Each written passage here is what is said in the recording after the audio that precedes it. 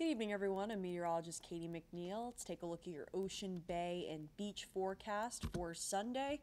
Big shift on the way with uh, temperatures decreasing pretty rapidly here uh, as we head into Sunday as this cold front pushes through overnight tonight on Saturday. Starting the day on the cooler side, upper 40s, low 50s across the area in the pre dawn. By 8 a.m., we're going to be kind of similar here, right around 50 in Providence. We will be warming up to pretty seasonable temperatures in the low to mid 60s across the area, 64 in Providence by around 3 o'clock.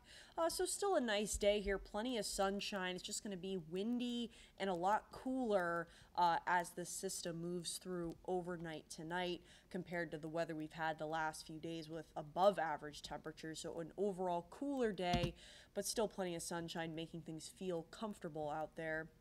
And as we head towards Sunday night, temperatures are going to cool down to the mid and low 50s here with some clouds rolling in, looking at partly cloudy conditions Sunday night with some fog as well. Kind of these light green areas you're seeing, possibly some drizzle and fog, especially out towards the Cape by 11 o'clock tomorrow night. For your wind forecast, going to be a windy day tomorrow, especially out towards the Sounds. Here's the start of your day.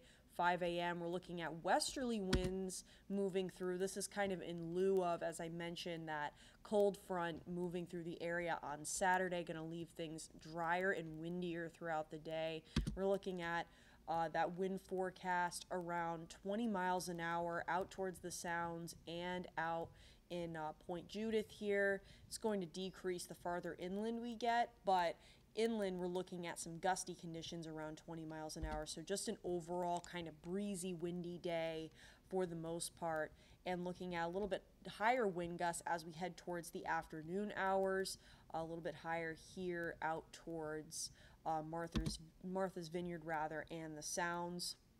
And we're going to kind, kind of stay consistent throughout the afternoon, kind of with those wind speeds around 20, 25 miles an hour at times.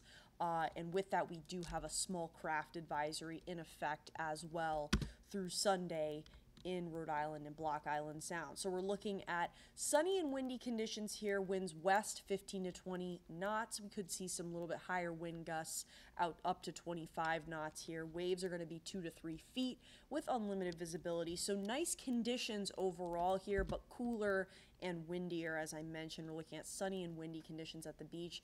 Going to be rough surf again, six to 10 feet uh, for the breaking waves here in Narragansett Bay with a moderate rip current risk again. So not the best uh, wave conditions here with rough surf expected again, uh, kind of with uh, post-tropical depression Philippe moving through. We're kind of getting the back end of that system, which is going to lead way to this rough surf again on Sunday. But Monday should start to improve. And as always, you can get your full forecast anytime at WPRI.com.